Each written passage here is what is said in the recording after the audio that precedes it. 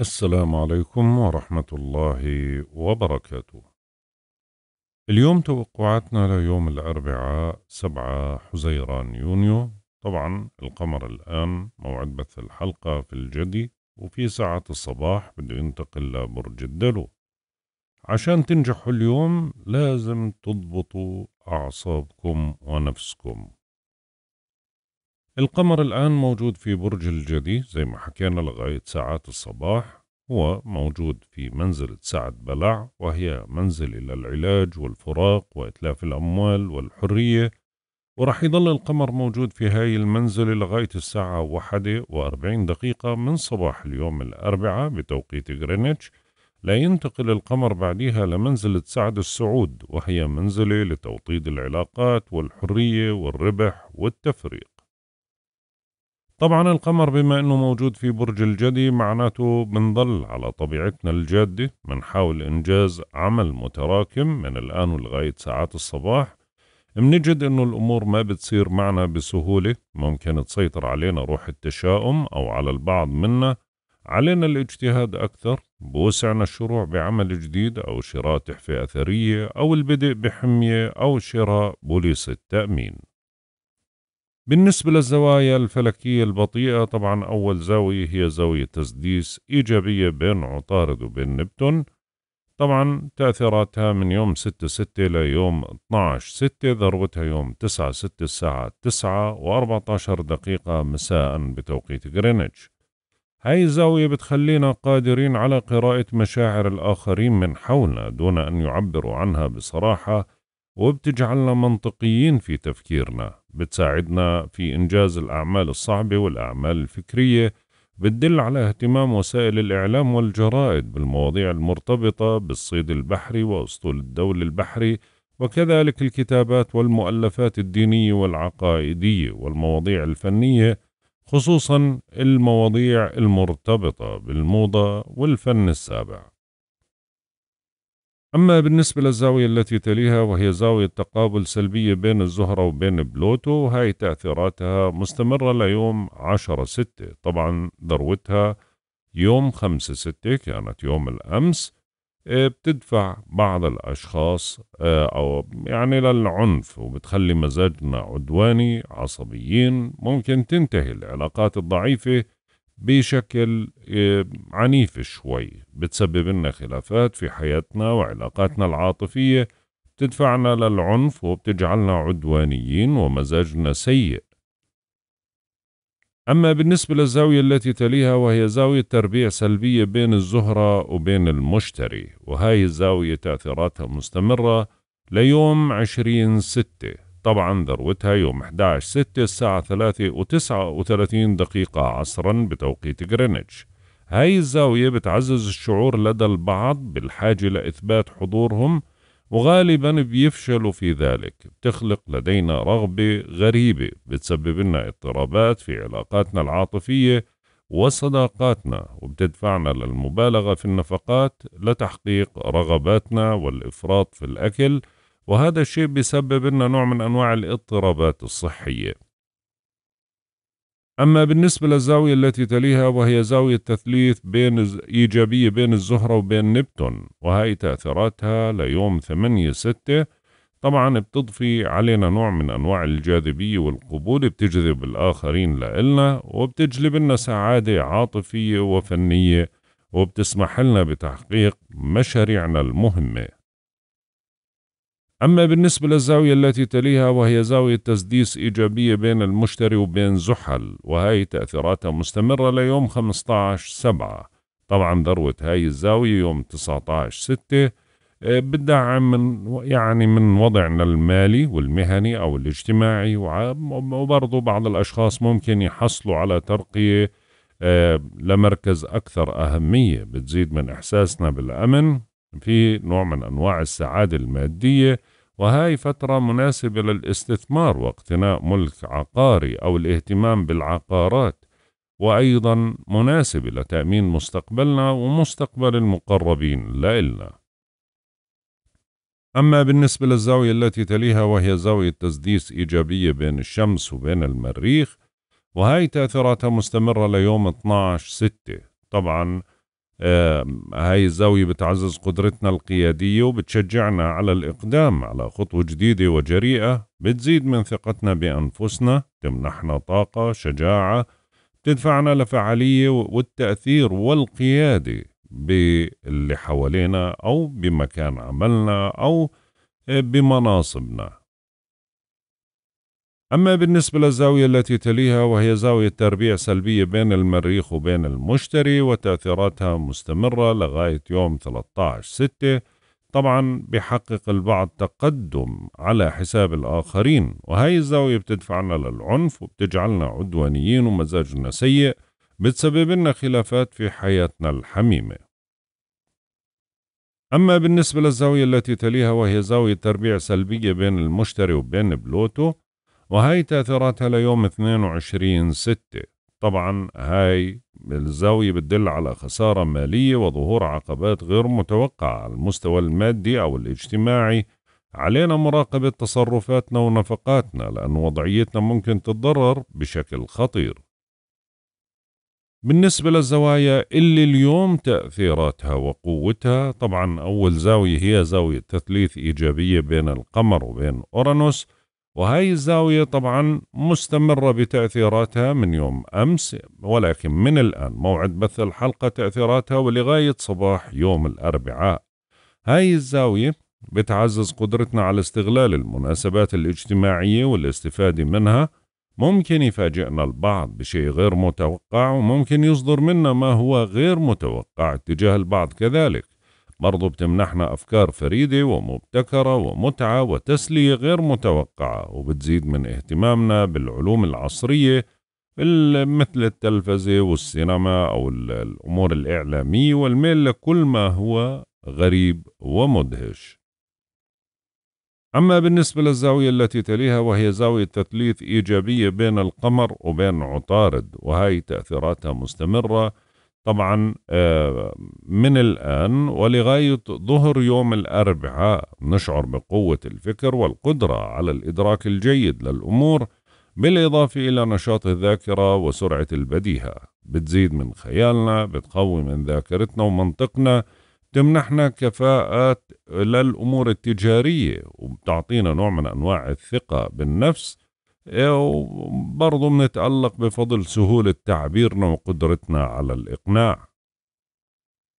أما بالنسبة للزاوية التي تليها وهي زاوية تسديس إيجابية بين القمر وبين نبتون وهاي تأثيراتها مستمرة طبعا من الآن موعد بث الحلقة ولغاية عصر يوم الأربعاء. هاي الزاوية بتعزز الخيال الخصب وبيقوى الحدس فعليه في أكثر المستفيدين هم اللي بيعملوا بمجالات ذات صلة بذلك كالفن والديكور والتجميل. هاي آه هذا وقت مناسب للراحة بتزيد من حساسيتنا ورومانسيتنا بتمنحنا كفاءات للعمل المسرحي أو الروحانيات. بعد هاي الزاوية مباشرة بيبدأ عنا خلو المسار. يعني خلو المسار للقمر رح يبدأ الساعة 4 و 39 دقيقة صباحا بتوقيت غرينتش. ورح يستمر حتى تمام الساعة 8 و 41 دقيقة صباحا بتوقيت غرينتش لينتقل القمر ويستقر بعدها في برج الدلو. هذا بيعني أنه هاي الفترة المذكورة لا تصلح للبدء بأي عمل جديد أو مهم مثل توقيع عقد أو خطوبة أو زواج أو شراء شيء ثمين بل إكمال العمل اللي بدأنا فيه قبل خلو المسار. الساعة 8 و41 دقيقة صباحا بتوقيت غرينتش. خلص القمر بنتقل وبستقر في برج الدلو. عشان هيك منبلش نشعر بأن بحاجة ماسة للتغيير. الروتين هو عدو هاي الوضعية. نكون ودودين أكثر مننشط اجتماعيا منرغب في الانضمام لنادي أو مجموعة من الرفاق وتجربة أسلوب جديد في حياتنا. بيتصرف الناس من حولنا عادة بشكل منطقي أكثر من إنه عاطفي. بوسعنا تعزيز صداقة جديدة وإدخال تغييرات على مظهرنا الشخصي كقصة الشعر مثلا أو شراء أجهزة إلكترونية أو تجربة طعام جديد. أما بالنسبة للزاوية التي تليها وهي زاوية اقتران إيجابية بين القمر وبين بلوتو وهاي طبعا ذروتها راح تكون الساعة 8 و47 دقيقة صباحا بتوقيت غرينتش ولكن تأثيراتها بتبدأ. من ساعات الفجر الأولى أو من مساء يوم الثلاثاء يعني عند منتصف الليل وبتستمر حتى مساء يوم الأربعاء. بتعزز قدرتنا على السيطرة على مشاعرنا وأفكارنا ونتمكن من الغوص عميقا في نفوسنا وإحداث التغييرات المطلوبة. طبعا بتمنحنا حكم صائب ومواهب روحانية وبتدفعنا للإبداع. أما بالنسبة للزاوية التي تليها وهي زاوية تقابل سلبية بين القمر وبين الزهرة وهي ذروتها رح تكون الساعة 11 و 38 دقيقة ظهر الأربعاء. تأثيراتها بتبدأ من الساعات الأولى ليوم الأربعاء وبتستمر حتى صباح يوم الخميس. أكثر المتضررين هم اللي بيكون عندهم مشاكل عاطفية لأنه بالفترة هاي بيتجهوا للتنفيس من خلال صرف النقود بإسراف دون حساب بتزيد من ضعفنا وميلنا للفوضى والتقلب بالمزاج وعواطفنا من برضه آه، في بعض الرغبات ممكن تؤدي فينا لخيبات أمل عاطفية. راقب كلامك وتصرفاتك لأنها ممكن أنك تأذي فيها الآخرين بدون ما تشعر بذلك. أما بالنسبة للزاوية التي تليها وهي زاوية تربيع سلبية بين القمر وبين المشتري وهاي الزاوية طبعا راح تكون ذروتها الساعة 4 و 34 دقيقة عصرا بتوقيت غرينتش. طبعا تأثيراتها بتبدأ من صباح يوم الأربعاء وحتى آه، صباح يوم الخميس. يجب توخي الحذر ممن يحاول استغلال طيبتنا وكرمنا. يعني بمعنى آخر النصب والاحتيال بينشط هذا اليوم. أما بالنسبة للزاوية التي تليها وهي زاوية تقابل سلبية بين القمر وبين المريخ طبعا هاي الزاوية ذروتها الساعة 2 وعشر دقائق من صباح يوم الخميس ولكن تأثيراتها بتبدأ من عصر يوم الأربعاء وبتستمر حتى عصر يوم الخميس. هاي الزاوية بتخلق لدينا شعور بالملل من أي عمل روتيني فمنكون بحاجة للهدوء والتحلي بالصبر في أي مسعى منقوم فيه. يفضل أخذ فترة من الراحة لاستعادة نشاطنا من جديد واللي بيكون محبط عاطفيا بثور ثورة عارمة من الغضب. أما بالنسبة للزاوية التي تليها وهي زاوية تثليث إيجابية بين القمر وبين الشمس وهي راح تكون ذروتها الساعة واحدة وثمانية وعشرين دقيقة من بعد ظهر يوم الخميس ولكن تأثيراتها بتبدأ من مغرب يوم الأربعاء وحتى صباح يوم الجمعة.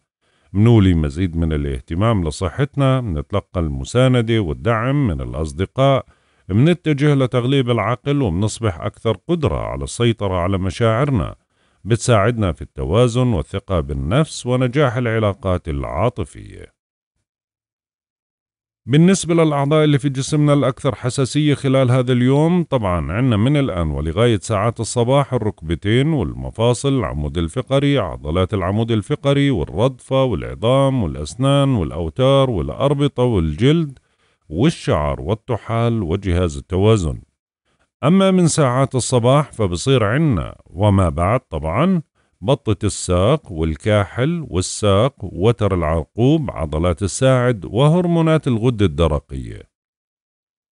عشان هيك اليوم في فترة خلو المسار لا ينصح بإجراء العمليات الجراحية. طبعا بالنسبة للعمليات الجراحية لباقي أعضاء الجسم غير الأعضاء اللي ذكرناها ما في أي مشكلة. أما بالنسبة لعمليات التجميل فمن ساعات الصباح بعد ما ينتقل القمر لبرج الدلو ما في أي مشكلة لعمليات التجميل مثل الحقن أو الجراحة. وهذا اليوم يصلح لإزالة الشعر الزائد بأي طريقة. آه، يصلح لقص الشعر التجميلي والصبغ ولكنه لا يصلح للقص العلاجي. بالنسبة للقمر بما أنه رح ينتقل لبرج الدلو معناته خلو المسار القادم رح يكون يوم الجمعة. بيبدأ خلو المسار الساعة أربعة وثلاثة وعشرين دقيقة. صباحا بتوقيت غرينتش وبيستمر حتى تمام الساعة عشرة وثلاثة عشر دقيقة. يعني برضو صباحا ما قبل الظهر بتوقيت غرينتش. لا ينتقل بعدها القمر لبرج الحوت. بالنسبة لعمر القمر عمر القمر انحسار المحدب عمره 19 يوم في تمام الساعة 8 و22 دقيقة مساء بتوقيت غرينتش بصير عمره 20 يوم. نسبة الإضاءة بتصير 80% أما بالنسبة لمزاج الكواكب وطباع الكواكب لهذا اليوم.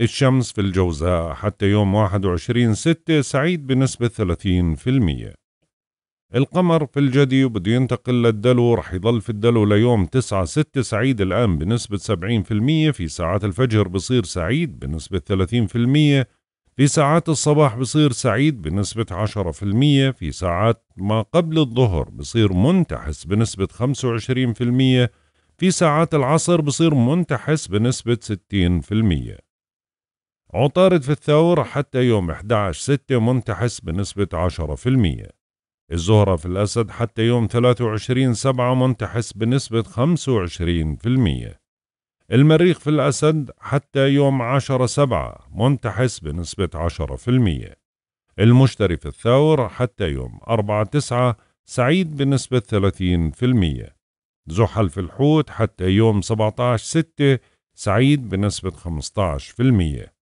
أورانوس في الثور حتى يوم 29 8 سعيد بنسبة 15% ونبتون في الحوت حتى يوم 30 6 سعيد بنسبة 15% وبلوتو في الدلو بيتراجع حتى يوم 11 6 منتحس بنسبة 30% طبعا ما تنسوا تحطوا ال like وال dislike وال comment والمسبات والكبسات والأشياء هاي اللي تحت يعني تنسوش تكبسوا عليها لأنه لكم حلقتين قلت الكبسات تاعي ف يعني يمكن زعلتوا مني أو زهقانين أو مش جاي عبالكم يعني تنشطوا اليوم الله يرضى عليكم.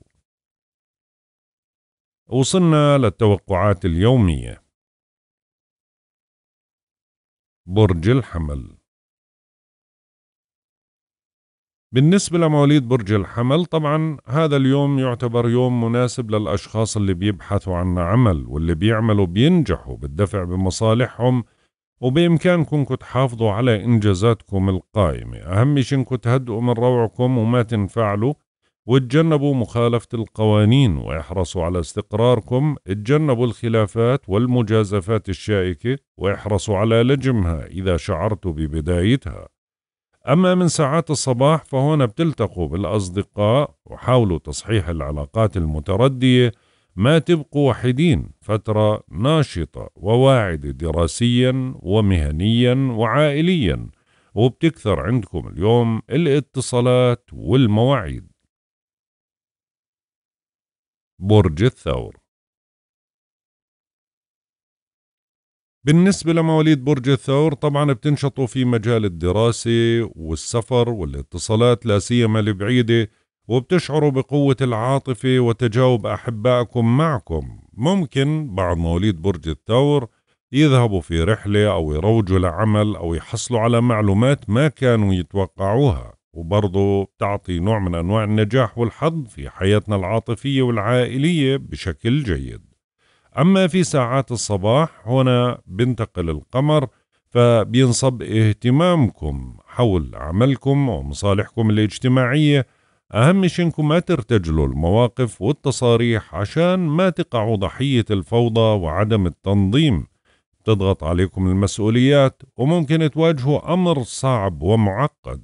فعشان هيك اليوم بدكم تلتزموا بمسؤولياتكم وتبعدوا عن مخالفة القوانين. برج الجوزاء. بالنسبة لمواليد برج الجوزاء طبعا اليوم بتعيدوا تنظيم أموركم المالية المشتركة والفرصة متاحة لمكسب مالي.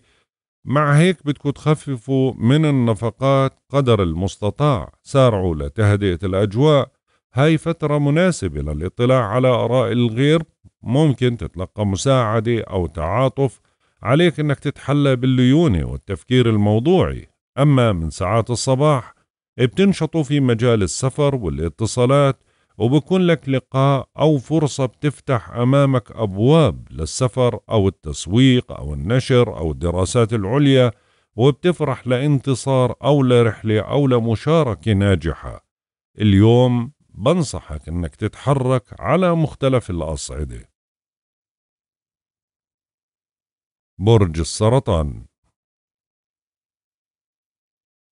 بالنسبة لمواليد برج السرطان طبعا هذا اليوم مناسب لتعزيز شراكاتكم سواء في مجال العمل أو في مجال العاطفة. وبوسعكم اليوم تعزيز علاقاتكم مع شركائكم وهذا اليوم جيد لتوقيع العقود ولكن بدكم تقرأوا بنودها بشكل جيد آه، ومش في فترة خلو مسار أهم إشي. أما بضل في نوع من أنواع الضغط لأنه طاقتكم بتضل ضعيفة فما بينفعكم سوى الصبر والمرونة حتى ساعات الصباح وممكن تتعرض لمضايقات أو خلافات. أما من ساعات الصباح بتعيدوا ضبط ميزانيتكم تقدروا تدخلوا تعديل على نمط حياتكم لتتماشى مع التقدم والتطور في محيطك.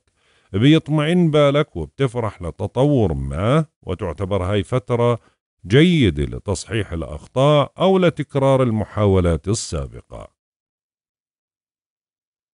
برج الأسد.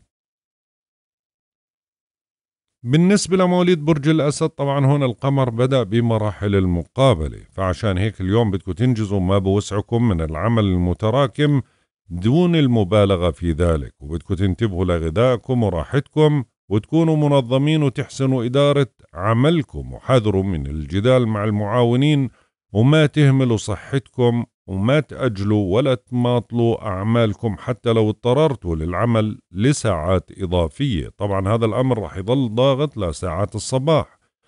أما من ساعات الصباح بينصب اهتمامكم حول تعزيز شراكاتكم حافظوا على هدوءكم وما ترتجلوا أي كلام أو توجهوا ملاحظات لأنه خصمكم قوي وما بيرحم. هاي الأيام تحمل لك ارتباط مهم فلازم تحافظ على هدوء أعصابك وما تكون عدائي. برج العذراء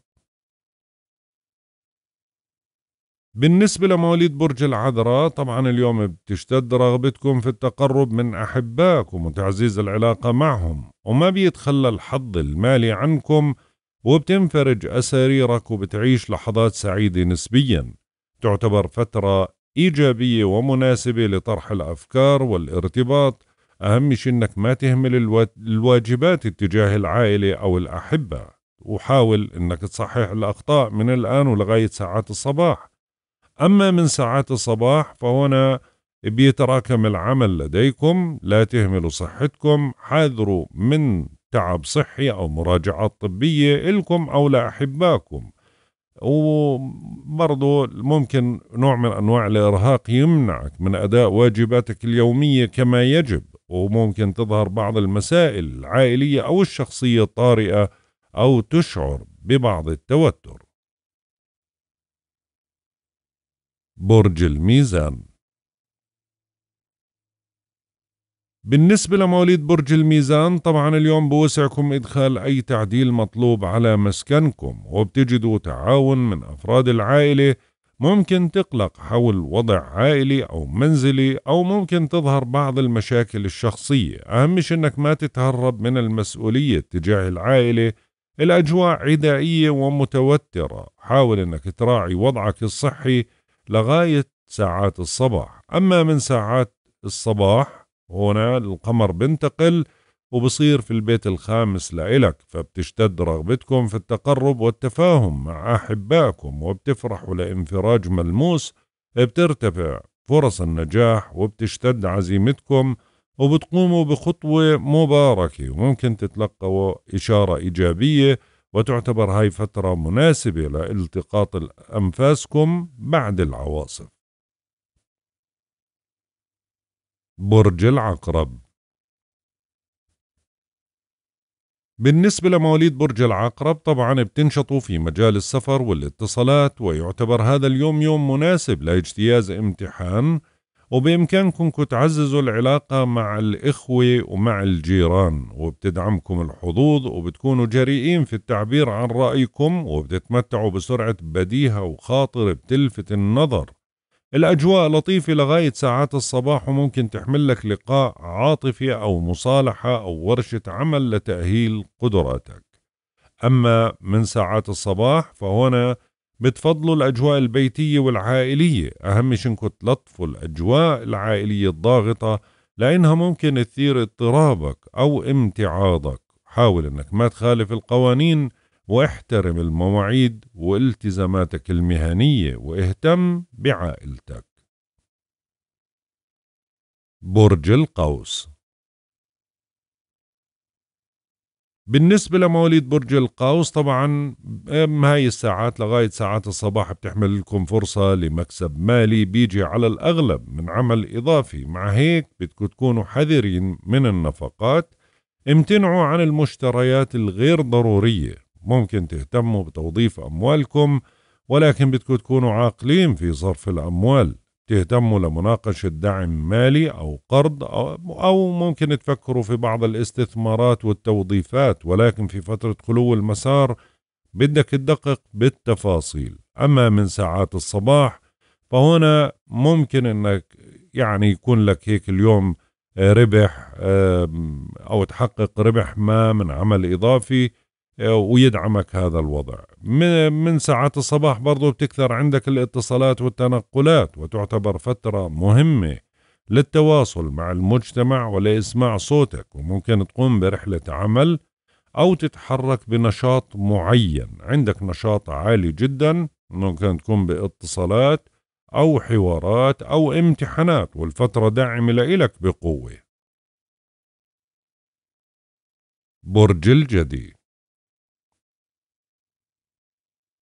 بالنسبة لمواليد برج الجدي طبعا ثقتكم اليوم بأنفسكم أكبر بكثير من الأيام الماضية وبعمكم النشاط وبإمكانكم تبادروا لخطوة جديدة تدعم من مكانتكم الاجتماعية. وبرضه بيحمل لكم هذا اليوم انفراج وتقدم ملموس بعد مراوحة وركود وعليكم تتحلوا بالحكمة والواقعية. بتشتد عزيمتكم وبترتفع المعنويات وبتستعيد سيطرتك وممكن تحقق نجاح باهر. أما من ساعات الصباح فهنا التركيز رح يصير على الوضع المالي. بتعيدوا تنظيم ميزانيتكم. أهم شيء أنه ما تغامروا بأموالكم لأنها فترة حذرة ماليا ومعنويا فما تتسرع باتخاذ قرارات حاسمة. وأنت اليوم بحاجة لكل التعاطف والتضامن. برج الدلو. بالنسبة لمواليد برج الدلو طبعا من الآن ولغاية ساعات الصباح بظل الجو ضاغط لأنه القمر ما زال موجود في بيت المتاعب فبتتطلب منك هاي الساعات يعني تنتبه أكثر لصحتك عدم المبالغة في إنجاز ما لديكم من عمل متراكم تهدأ وتيرتك لحد الركود. ممكن تلغي مشاريعك أو تعاني من تراجع معنوي أو صحي. وبرضه ما تحسم أي أمر لأنها فترة سلبية مخيبة للآمال أما من ساعات الصباح هنا بتستعيد نشاطك وحيويتك تستعيد حماستك وعزيمتك وبتمارس جاذبية لا تضاهى للبدء بمشروع أو خطة جديدة. تملك طاقة كافية للانطلاق بمشروع جديد أو لحسم أمر عالق وتعتبر فترة ممتازة جدا وفيها أخبار سارة. برج الحوت. بالنسبة لمواليد برج الحوت طبعا القمر الآن بيقترب من بيت المتاعب. بلش في نوع من أنواع الضغوط ولكن من الآن ولغاية ساعات الصباح بإمكانك أنك تستغلها. بتعزيز صداقاتكم منكم أشخاص ممكن يحققوا أمنية بمساعدة صديق ومنكم أشخاص ممكن يشاركوا في مناسبة سعيدة. تتسع الآفاق تحتفل بنجاح أو تطور علاقة. وممكن إنك تعزز شعبيتك وتحصد أرباح وبتفرح لوقوف أحد الأصدقاء أو الأقارب لجنبك. بتخف الضغوط شوي لأنه القمر آه، بشكل زوايا إيجابية ولكن مع ساعات الصباح تدخلوا فترة غير مريحة بتلزمكم الانتباه أكثر لصحتكم.